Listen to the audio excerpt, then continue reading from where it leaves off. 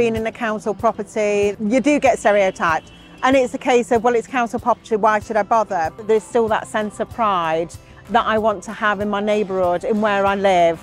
Um, and to make that happen, it's like somebody's got to take sort of that first step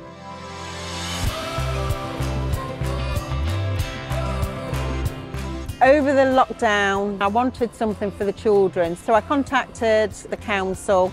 They have got a neighbourhood project team and we put some planters in. So we decided last August to actually get all the residents involved.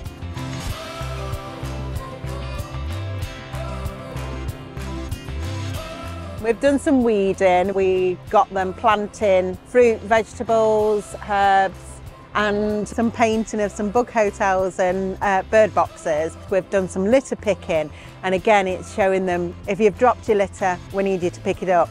We've been able to get some wildflower seeds and we've done a bit of a snake path where we wanted to plant some wildflowers.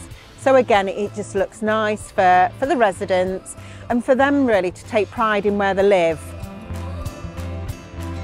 It's nice to see the children getting involved because they're our next generation and for them to know where your fruit and veg, where it comes from, it's not off a supermarket shelf. It's like, you know, for them to get involved and just take some ownership as well. We wouldn't have been able to do the event today if it hadn't been for the Notts Wildlife Trust.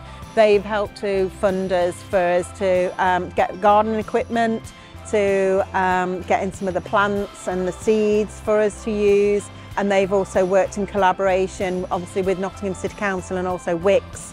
So if you are a council tenant, you can go to your local council authority. They will probably have a team there that would be able to help. It's good for them and obviously it's good for us, it's good for the environment to just try and bring this wildlife and just make it a nicer, better place, yeah.